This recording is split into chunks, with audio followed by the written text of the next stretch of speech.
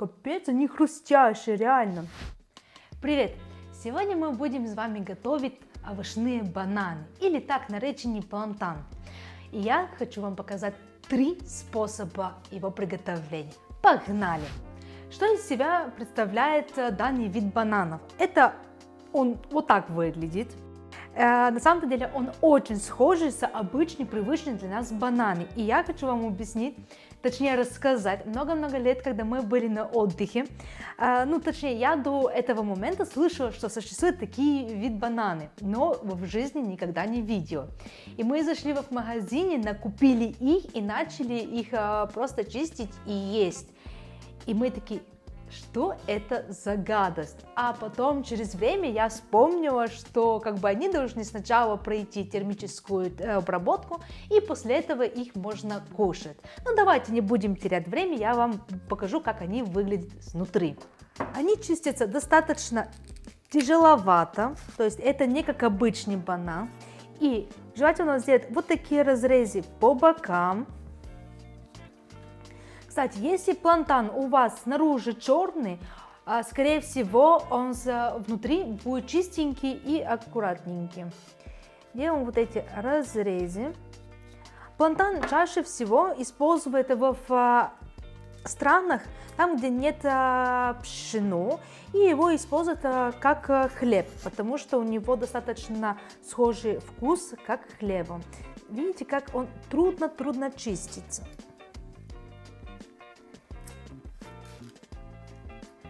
Мне нужно время. О, пошел, пошел.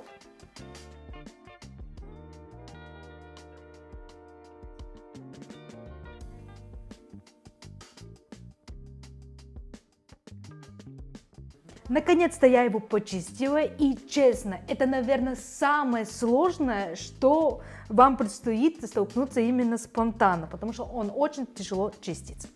Итак, я буду нарезать наш плантан на несколько вариантов. То есть я первый вариант, его нарежу обычными вот такими шайбами. Другой вид я нарежу на вот такие более толстые, скажем, кружочков. И наш последний вид я с помощью чистка для овощей буду делать вот такие полоски.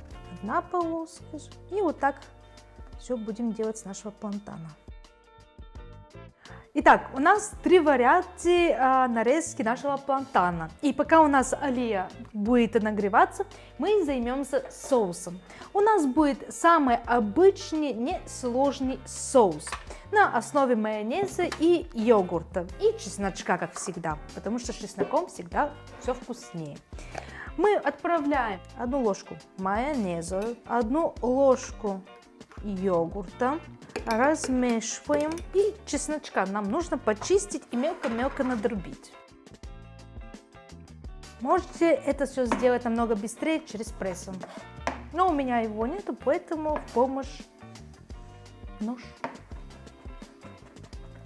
Так, мелко мы его надрубили, отправили чтобы он там соединялся, выдавал свои эфирных масла в майонезиками и йогуртом. Размешали и добавляем по вкусу соль. Ну, куда же у нас без соли? Маленькая щепоточка.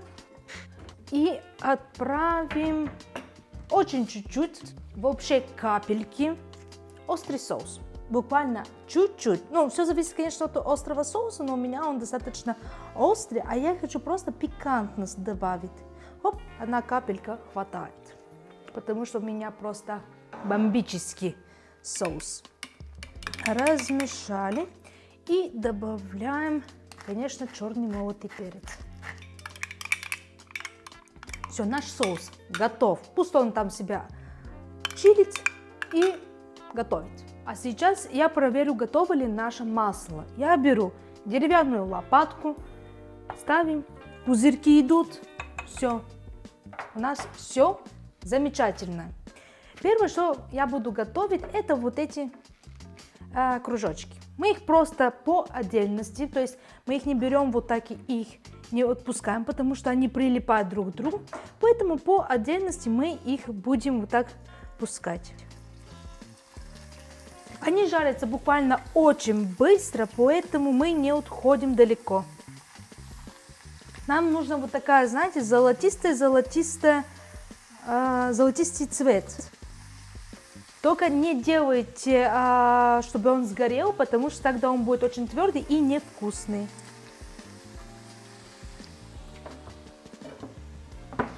Так, у нас первая партия пожарилась.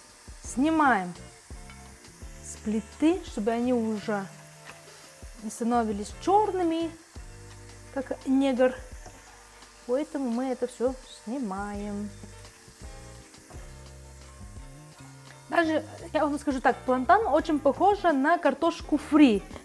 Поэтому, если вы любите картошку фри, но она вам надоела уже, хотите какой-то эксперимент, и вы нашли в вашем магазине плантан, берите смело. Я думаю, что он вам понравится. А из одного вы откроете новый мир кулинарии. Потом я буду отправлять наши полосочки, вот эти.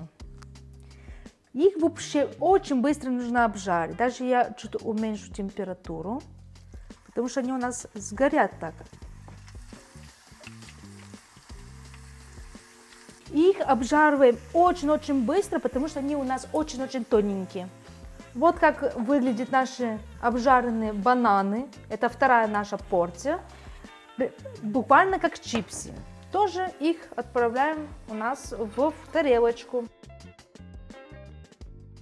Итак, вот наши большие кусочки э, плантана тоже уже готовы. И сейчас что мы делаем?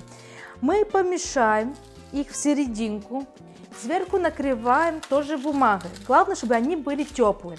И берете то, что у вас есть э, большая плоскость, и вот так вы придавливаете как будто из-под пресса. Придавили. И вот какой у вас блинчик получился. И так сделаем со нашей все другие блинчиков. Главное, чтобы они были теплые, точнее даже горячие.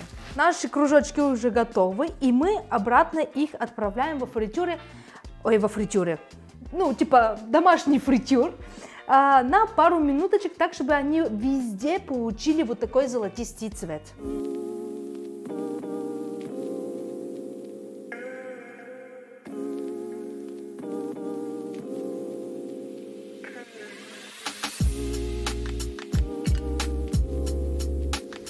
Наш овощной банан готов. Это замечательная, как по мне, закуска. И, как по мне, она очень круто смотрится. Смотрите, у нас есть типа вот такие лепешки. Они хрустящие. Потом у нас есть чипсы. Ну, смотрите, они реально похожи на чипсы. Те, которые мы покупаем только картофельные, это у нас банановые. И у нас есть тоже типа чипсы, но они больше уже похожи на сушеный банан, который мы привыкли с вами покупать и украшать там торты и все прочее. Но давайте мы попробуем. Класс. Я не знаю, слышно или не слышно было, но это прикольно. Капец, они хрустящие, реально. Знаете, вот если вы пробовали хоть раз в жизни батат, это что-то между бататом и обычной картошкой. Он слегка сладковатый, но в конце есть привычная для нас э, картошка. Это очень ну, прикольно и интересно. Классно. Это именно под пивко, как по мне, замечательный закусон. Давайте попробуем вот этот. Это реально как лепешечка. Тоже хрустит. Внутри мягко, кстати. Если здесь полностью они хрустели и похожи 100% на чипсы, то здесь похоже на... Даже я не знаю, как объяснить. Ну, реально на лепешку, картофельную лепешку, которая снаружи она хрустящая, внутри она мягкая. Вкус такой же. Классно. Например, утром я вместо хлебцов, может быть, использовала бы вот такая лепешечка, поставила бы крем-сыр, там, а, может, какой-то слабосоленый э, лососик, авокадо. Это тоже очень приятно и очень прикольно. И попробуем вот эти вторые наши чипсы.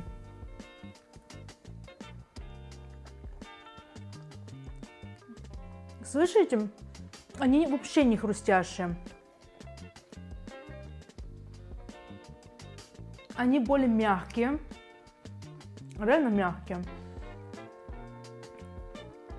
Ну, тоже такой привкус картошечки батат. Что-то скрешенное. Классно. То есть эти три вида приготовления батата, как по мне, просто замечательные. Это, например, на утро или на обед под какой-то бутик. Это под пивко. А это просто, если что-то хочется погризть, а не знаю, что хочется, это замечательное решение. Поэтому, если вам понравилось сегодняшнее видео, ставьте лайки, подписывайтесь на наш канал, попробуйте батат обязательно и до новых встреч. Пока!